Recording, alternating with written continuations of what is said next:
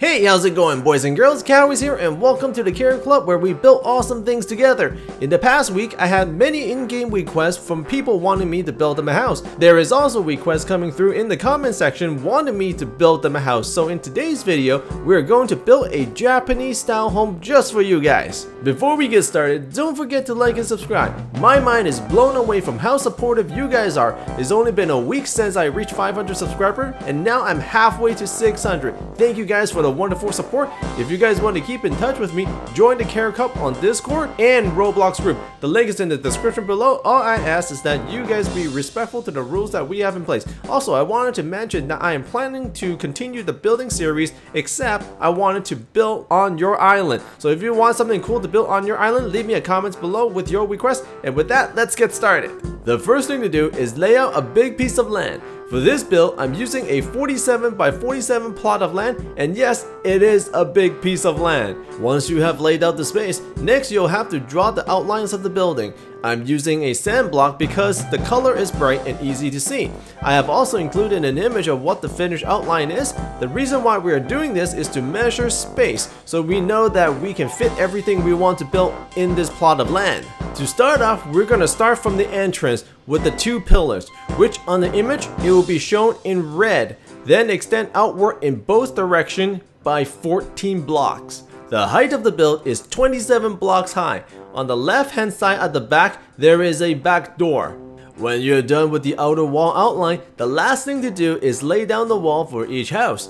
The blue dotted lines on the image is the spacing between each house. When you're finished, don't forget to leave a space for the door. Now that the hard part is out of the way, the rest of the build is quite simple. Japanese often have stone brick flooring, so what we're going to do is lay over the grass with stone bricks. When you're finished with this, your build will look something like this. Next, we will form the houses. All three houses will be built the same way. First, you surround each house with a stone slab. This will make the house look like it has steps going up.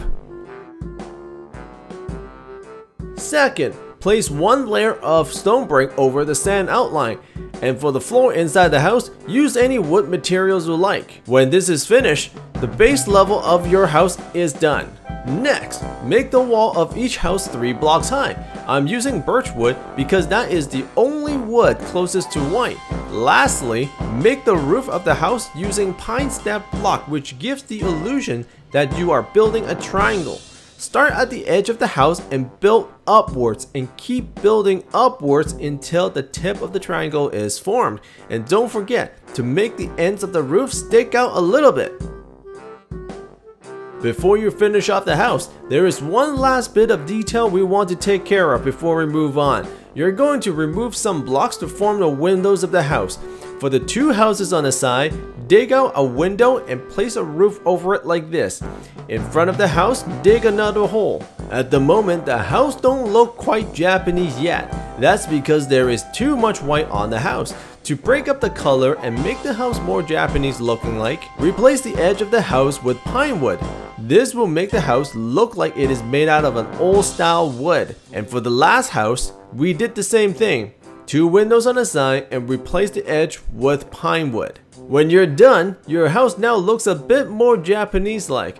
But we're not done yet. We still need to form the outside wall, the front gate, and the back door. For the front gate where you see the 2x2 sand block, place stone bricks on top of it, then build upward by 3 blocks with actual pine wood and not the pine plank. This will be the pillars of the gate. Then build the roof of the gate the same way you did for the house, and you're done. For the back door, it is much simpler because you only have one block to deal with. Same as the front gate, stack 3 pine woods high and place a roof overhead.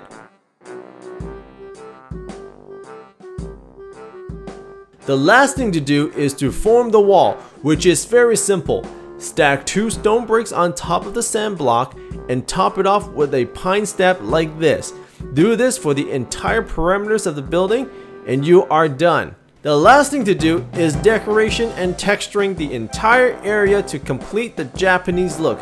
And by the way, in this part of the build, you will need some game pass like the lighting station and flower station to complete. If you don't have it, buy the materials from another player. If you look at the ground, it looks very monotone with the stone brick looking the same everywhere. Static look makes your building look boring.